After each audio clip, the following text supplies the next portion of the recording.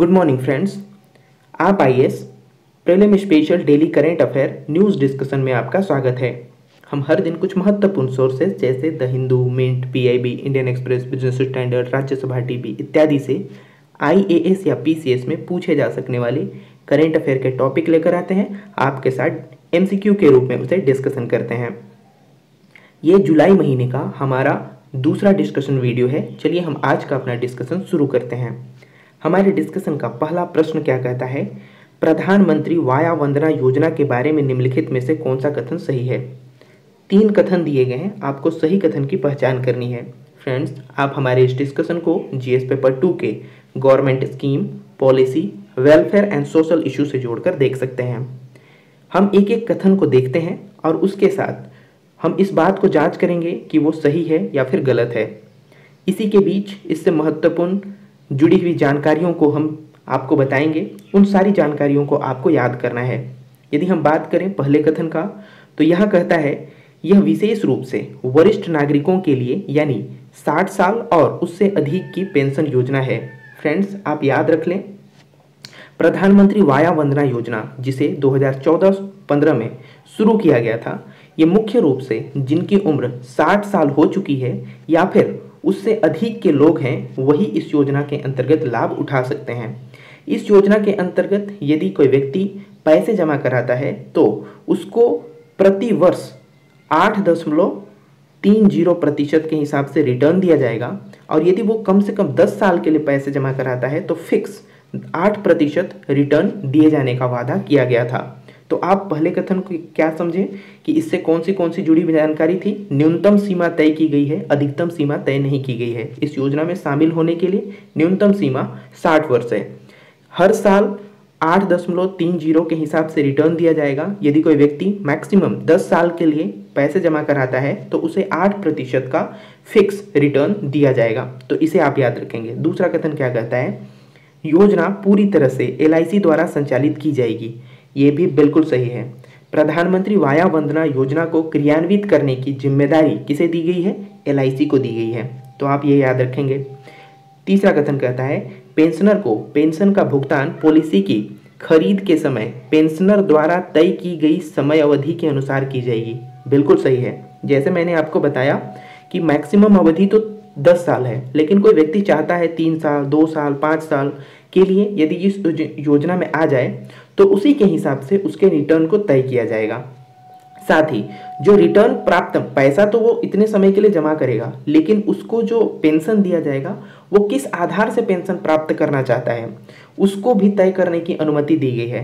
वो चाहता है तो प्रति छः महीना पेंशन प्राप्त करने की अवधि को चुन सकता है, प्रति वर्ष या फिर तीन महीने में या फिर मासिक आधार पर वो जिस प्रकार से पेंशन प्राप्त करना चाहता है, इस योजना के अंतर्गत पैसा जमा कराने के बाद वो व्यक्ति प्राप्त कर सकता है। तो इस बात की भी छूट दी गई है। तो इस क्वेश्चन के हिसाब से देखें तो आंसर क्या होगा? ऑप्शन डी क्योंकि पहला, दूसरा और तीसरा, सारा का सारा जो है वो सही है। जैसे मैंने आपको बताया फ्रेंड्स इसे 2014-15 में शुरू किया गया था, लेकिन अभी ये न्यूज़ में क्यों है? क्योंकि फ्रेंड्स इसकी इस योजना के अंतर्गत जितने भी भारत के वरिष्ठ नागरिक हैं, उन लोगों को इस लॉकडाउन के दौर में पैसे जमा कराने के लिए आकर्षित करने की बात कही जा रही है, ताकि भारत सरकार को कहीं से तो पैसा प्राप्त हो। तो इसीलिए ये न्यूज़ में आया था। इससे जुड़ी हुई कुछ महत्वपूर्ण बातें हैं, जिसे आपको ध्यान रखना है। इसका पहला संस्करण 2003-4 में शुरू किया गया था। इसका दूसरा संस्करण 2014-15 में शुरू किया गया था। न्यूनतम आयु जो इस योजना में शामिल होने की है, वो 60 वर्ष है मैक्सिमम की बात नहीं की गई है। 10 सालों के लिए रिटर्न 8 प्रतिशत और प्रति वर्ष के हिसाब से आठ दशमलव तीन ज़ीरो प्रतिशत के हिसाब से रिटर्न देने की बात इस योजना के अंतर्गत की गई है। जो पेंशन प्राप्त करना है, वो व्यक्ति तय करेगा कि उसे प्रति माह पेंशन प्राप्त करना है, तिमाही आधार पर, अर्धवार्षिक आधार पर या फिर वार्षिक आधार पर। ये सारी बातों को आप याद रखेंगे। एक अन्य बात, यदि कोई व्यक्ति इसी योजना के अंतर्गत शामिल होता है और वो तय सीमा करता है कि वो 10 साल के लिए इस योजना के अंतर्गत रहेगा, लेकिन वो सात साल में ही इससे बाहर आना चाहता है तो उसे हंड्रेड परसेंट पैसा जो उसने जमा कराया था उसको नहीं दिया जाएगा। उसका मात्र अंठानबे प्रतिशत पैसा उसे वापस की जाएगी। दो प्रतिशत भारत सरकार के द्वारा रख लिया जाएगा। इस योजना के अंतर्गत सेवा कर और जीएसटी नहीं लगता है। इस बात को भी आप ध्यान रखेंगे। तो फ्रेंड्स, ये कुछ महत्वपूर्ण बातें थी। प्रधानमंत्री वाया वंदना योजना से संबंधित इन सारी बातों को आप याद रखें। हमारे डिस्कशन का दूसरा प्रश्न क्या कहता है? खोलुंगछू परियोजना एक पहली संयुक्त जल विद्युत परियोजना है। जिसके बीच, यहाँ किसके बीच हस्ताक्षरित किए गए हैं? यहाँ पर आपको भारत और दूसरे तरफ़ चार देशों के नाम दिए गए हैं। आपको बताना है खोलुंगछू परियोजना किसके द्वारा, किन दोनों, दो देशों के बीच इसे हस्ताक्षरित किया गया है? फ्रेंड्स, आप हमारे इस डिस्कशन को जीएस पेपर टू के भारत और इसके पड़ोसी देश, साथ ही अंतर्राष्ट्रीय संबंध से जोड़कर देख सकते हैं। यदि हम बात करें खोलुंगछू परियोजना का तो इसे भारत और भूटान के बीच हस्ताक्षरित किया गया है। भारत सरकार के द्वारा कहा गया था कि 2020 तक, ये वादा किया गया था 2008 में कि 2020 तक दस हज़ार मेगावाट का बिजली क्षमता बनाने की, बिजली बनाने की क्षमता वाले परियोजनाएँ स्थापित की जाएँगी। कहाँ पर? भूटान में। इसी के अंतर्गत अब भारत लगभग लगभग अपने लक्ष्य को प्राप्त करने की ओर बढ़ चुका है और इस योजना को अनुमति दे दी गई है। एक अन्य महत्वपूर्ण बात जो इससे जुड़ी हुई है वो ये कि आज से पहले तक मतलब इस योजना से पहले तक जितनी भी भूटान में योजनाएँ संचालित की जाती थी, वो पूर्ण रूप से भारत सरकार द्वारा वित्त पोषित होती थी। लेकिन ये पहली ऐसी परियोजना है, जिसमें भारत सरकार और भूटान की सरकार 50-50 प्रतिशत का पैसा निवेश करेगी। ये भी आप याद रखेंगे, पूछा जा सकता है। हमारे डिस्कशन का तीसरा प्रश्न क्या कहता है? भारतीय दंड संहिता की धारा चार अक्सर खबरों में देखी जाती है, किसके साथ जुड़ा हुआ है? आपको बताना है कि इनमें से चार में से किस क्षेत्र के साथ भारतीय दंड संहिता, यानी कि आईपीसी की धारा 497 जुड़ा हुआ है। फ्रेंड्स आप हमारे इस डिस्कशन को जीएस प्रीलिम्स जीएस मेंस के रोल ऑफ़ जुडिशरी से जोड़कर देख सकते हैं। यदि हम बात करें फ्रेंड्स भारतीय दंड संहिता की धारा 497 का तो ये व्यभिचार यानी कि एडल्ट्री से जुड़ा हुआ है। एडल्ट्री क्या होता है? मान लेते हैं कि कोई व्यक्ति है ये हस्बैंड है और ये वाइफ है। इन दोनों ने आपस में शादी किया, इसीलिए हस्बैंड वाइफ हैं। अगर ये वाइफ किसी दूसरे मर्द के साथ सामूहिक मतलब शारीरिक संबंध बनाती है, ये कोई महिला है जिसने शादी कर लिया है, वो किसी दूसरे मर्द के साथ संभोग करती है, यानी कि सेक्स करती है तो इस मामले में जो तीसरा व्यक्ति है, उसको दोषी माना जाता था। उस पर चार्ज लगाए जाते थे। बलात्कार के आरोप लगाकर इस, इसको सजा दी जाती थी। लेकिन महिला को यहाँ पर अबला नारी माना जाता था। उसको कोई सजा नहीं दी जाती थी। इसी के अंतर्गत एक अन्य बात, जो हस्बैंड होता है, यदि वो किसी ऐसी महिला के साथ जो विधवा हो चुकी है, जिसका शादी नहीं हुआ है, या फिर कोई दूसरी महिला के साथ संबंध बनाता है तो इस पर किसी भी प्रकार का कोई चार्ज नहीं लगाया जाता था। तो ये मामला जो है उसे एडल्ट्री कहा जाता है। अब क्या किया गया है? भारत सरकार के सुप्रीम कोर्ट के द्वारा 497 को हटा दिया गया खत्म कर दिया गया। क्यों? क्योंकि इसमें तीनों को ही दोषी मानने से इनकार कर दिया गया। किस आधार पर? अनुच्छेद 21, अनुच्छेद 14 और अनुच्छेद 15 के आधार पर। इसे हटा दिया गया। तो आपको इसके बारे में सिर्फ़ यही जानना है एडल्ट्री क्या है? आपने समझ लिया? अब आपको क्या जानना है कि धारा 497 किससे जुड़ा हुआ है? पूछा जाएगा तो यही ज़्यादा चांस है, ये एडल्ट्री यानी कि हिंदी में इसका व्यभिचार होता है, इसे आप ध्यान रखेंगे। हमारे सुप्रीम कोर्ट ने बहुत सारी बातें कही हैं, यहाँ पर वो लिखा गया है, मैंने आसान भाषा में आपको समझा दिया है, आप इसे पीडीएफ जो हम उपलब्ध कराते हैं, उसके माध्यम से पढ़ लेंगे, आपको आसानी हो जाएगी। हमारे डिस्कशन का चौथा प्रश्न क्या कहता है? आंध्र प्रदेश सरकार ने निम्नलिखित में से कौन किस क्षेत्र के लिए रीस्टार्ट कार्यक्रम शुरू किया है? आपको यहाँ पर चार ऑप्शन दिए गए हैं। बताना है कि आंध्र प्रदेश के द्वारा जो कार्यक्रम रीस्टार्ट शुरू किया गया है, वो किससे जुड़ा हुआ है? फ्रेंड्स आप हमारे इस डिस्कशन को जीएस पेपर टू के वेलफेयर स्कीम से जोड़कर देख सकते हैं। यदि हम बात करें फ्रेंड्स आंध्र प्रदेश के द्वारा शुरू किए गए कार्यक्रम का तो ये एमएसएमई सेक्टर के लिए शुरू किया गया है। यानी कि micro स्कोम small and micro MSME micro small और मीडियम के लिए शुरू किया गया है। क्या किया गया है कि आंध्र प्रदेश की सरकार 1100 डॉलर खर्च 1100 करोड़ रुपए खर्च करेगी। किसके क्षेत्र में? एमएसएमई के क्षेत्र में। क्योंकि लॉकडाउन के दौरान बहुत सारे जो छोटे, यानी कि सूक्ष्म, लघु और मध्यम उद्योग जो थे, वो अभी धर्रे पे चढ़े गए हैं। उन सारे लोगों को सबको समस्या हो रही है, क्योंकि इनके उत्पादों को खरीदने वाला नहीं है। यहाँ तक कि इनको संचालित करने में भी दिक्कत हो रहा है। तो इन्हीं चीज़ों को ध्यान में रखकर आंध्र प्रदेश के सरकार के द्वारा री स्टार्ट कार्यक्रम शुरू किया गया है। एक अन्य बात जो आपको याद रखना है कि खुद सरकार ही 360 प्रकार के सामानों को एमएसएमई से खरीदेगी। तो इसे भी आपको ध्यान में रखना है। हमारे डिस्कशन का अगला प्रश्न क्या कहता है? विदेशी प्रजाति के बारे में निम्नलिखित कथनों पर विचार करें। दो कथन दिए गए हैं, आपको सही कथन की पहचान करनी है। आप हमारे इस डिस्कशन को जीएस पेपर तीन के पर्यावरण, जैव विविधता या फिर इंडेंजर्ड स्पीसीज से जोड़कर देख सकते हैं। यदि हम बात करें फ्रेंड्स, दिए गए दो कथनों में से पहले कथन का तो पहला कथन कहता है, विदेशी जीवित प्रजातियों की व्याख्या केवल उन जानवरों के नाम से की जानी चाहिए जिनका नाम साइट्स के परिशिष्ट एक, दो और तीन के अंतर्गत हैं। फ्रेंड्स आप याद रख लें, अभी भारत सरकार के द्वारा कुछ नोटिफिकेशन जारी किए गए हैं, जिसके अंतर्गत विदेशी प्रजातियों के आयात निर्यात पर रेगुलेशन और प्रतिबंध लगाने की बात कही गई है। उसी के अंतर्गत जो विदेशी प्रजाति विदेशी प्रजाति की व्याख्या की गई है उसमें लिखा गया है कि केवल उन जानवरों के नामों को इसके अंतर्गत शामिल किया जाएगा जो साइट्स के परिशिष्ट एक, दो और तीन के अंतर्गत आते हैं। कहने का मतलब है कि जो साइट्स की परिशिष्ट एक, दो और तीन है, उसमें लिखा गया है कौन से कौन से जीव जो हैं वो प्रजाति हैं, उन्हीं को भारत सरकार के द्वारा माना जाएगा। तो पहला कथन क्या है? बिल्कुल सही। दूसरा कथन क्या कहता है? वन्य जीव संरक्षण अधिनियम 1972 द्वारा कवर की गई प्रजातियों को शामिल नहीं किया जाएगा। ये भी सही है, क्योंकि भारत का ही ये कानून है, वन्य जीव संरक्षण अधिनियम। लेकिन फिर भी विदेशी प्रजातियों को डिफाइन करने के लिए भारत के कानून को ही नहीं माना जाएगा। जबकि जो साइट्स का कन्वेंशन है, किसका कन्वेंशन है? आईयूसीएन का।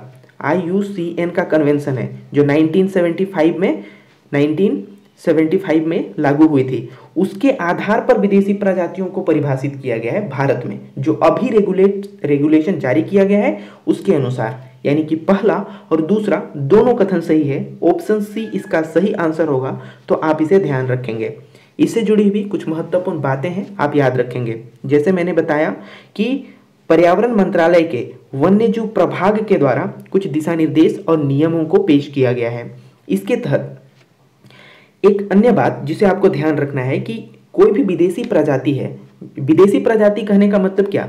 कि कोई जीव है जो किसी विशेष क्षेत्र में पाया जाता है। मान के चलिए उत्तर प्रदेश में कोई विशेष प्रकार का प्रजाति पाया जाता है तो ये यहाँ का स्वदेशी प्रजाति हो गया। इसे आप जापान लेकर नहीं जा सकते, इसे आप झारखंड लेकर नहीं जा सकते। यदि आप लेकर आते जाते हैं तो वो इसी कानून के अंतर्गत अवैध माना जाएगा और आपको सजा भी हो सकती है।